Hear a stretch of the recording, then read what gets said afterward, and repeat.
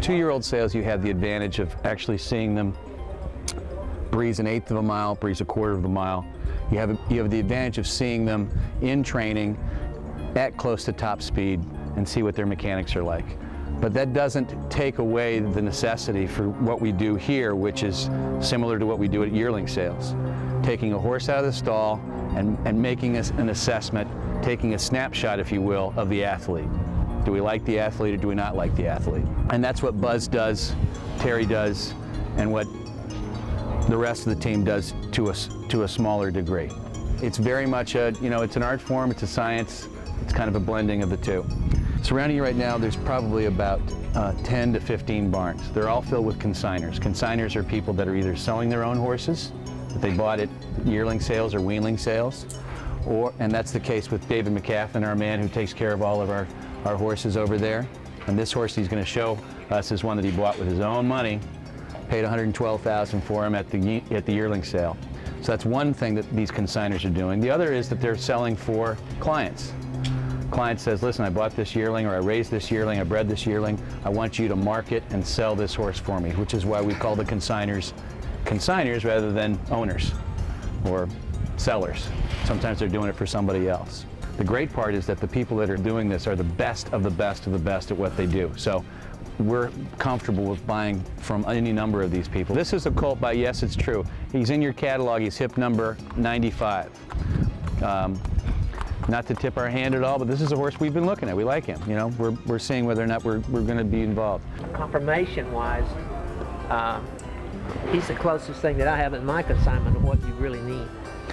Uh, and let's talk briefly about that. We'll get Buzz to talk about it, but let's talk briefly about what, what parts of the horse you're looking at from a conformation standpoint when you buy the horse. As, as we uh, discussed earlier, um, when, when we're looking for athleticism, and, and, and through, through years of looking at these things, we, we have some preferences as to what we want. Uh, this horse has a, a very nice short back uh, which is uh, uh, something that we really, we really like. This horse has a dynamic hip, the length of hip. Uh, that's what we look for. There's a lot of power in this hip. There's a lot of power in, in the muscles here. He has a, a great gaskin, beautiful forearm. This, this is this is a lot of a lot of strength and power. It doesn't seem like it. That's it's almost like in a in, in, any athlete. Like if you look at a running back, you know, those guys.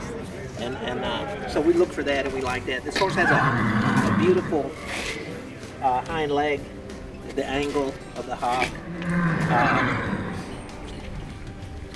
we love the neck set, the way his neck ties in here, rather than they can, they can just, this is a very athletic neck set on the horse.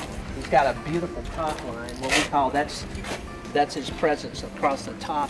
He, he his, his withers are. This is a real nice horse, right? so that's why we're showing him because we like him.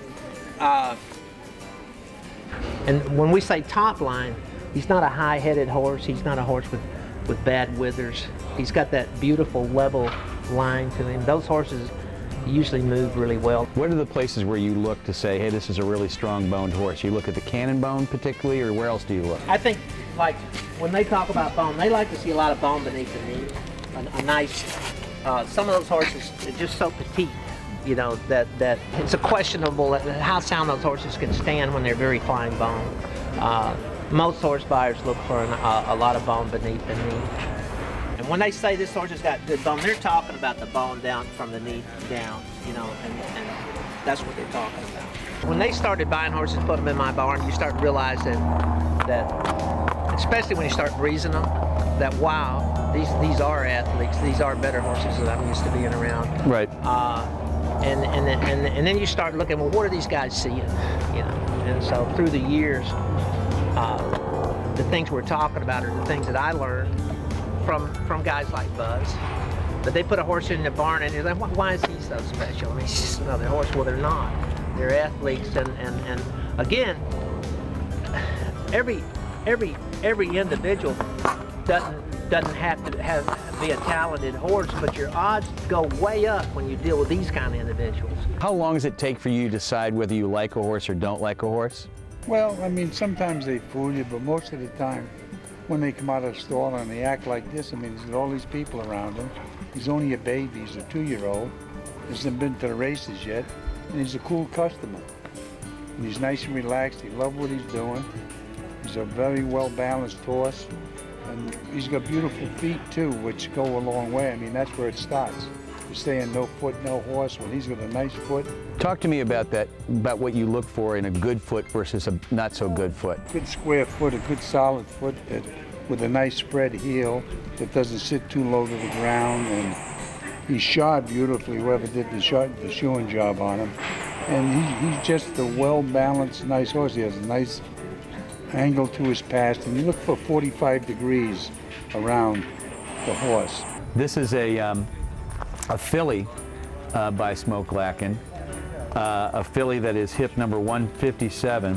One of the fun things about getting to know people like Wayne Lukas in the game is that you get their sort of, uh, their kind of um, old sayings. And as she walks past, um, this is a filly that kind of fits Wayne Lukas's description of his ideal filly. Face like an angel, ass like a washerwoman. That's, which is a way of describing a big, powerful hind end that doesn't have any excuses about moving, but a beautiful, uh, pretty, intelligent face and beautiful head. She's got a short, short back. She's got an extremely powerful shoulder. And you're also looking for a 45 degree angle here, just as you are for the pasterns down there. Her cannon bones are on the shorter side. That's, um, you know, Buzz and, and David and Terry haven't talked about that. Everybody's got their own likes and dislikes. I love to see a shorter cannon bone. Typically just means that I'm going to have fewer phone calls to partners saying, well, we've got a chip here or a chip there. They stay, they stay sounder um, with some, some, in my estimation, with a shorter cannon bone. Good angle to the pasterns. She's got a, a wonderful heart girth, meaning from here down to here where, the, where they're going to get their air and where they're going to get a lot of power and strength from. And she does have, she does have the, the, uh, the hind end that, that suggests a lot of power and a lot of strength and, and, and ability to be fast. How many years have you been around horses, Buzz? A long, long time. Is it possible at this stage of the game for you to take a look at a horse and say, well, I think it's probably going to be a sprinter or it's going to be a long distance horse, or is that really a bit premature right now? No, well, I think by her pedigree and everything else, she's probably going to be a sprinter, and with the Coronado's quest on the bottom, she might get a mile. She might be a miler, but I don't think she's going to be a two-turn filly. But of course, you never know. You don't have a crystal ball. But right now, we're looking at a racehorse to maybe break a maiden early, maybe win a stake race. 80, 70, then we're looking at 80, 80 now, 80, where's 70 now, 80 now, 70, 80, and 71 of 80, got down, 81 of 80, 70, then we're looking at 80 now, 80 now, 90, 90, then we're looking at 80, 80, 90, 120, 25, all three back there, man, 125, 120, 25, I'm gonna do 120, get ready, 125, 120, 25, you ready, 120, 25, 120, and Tommy, 120,000.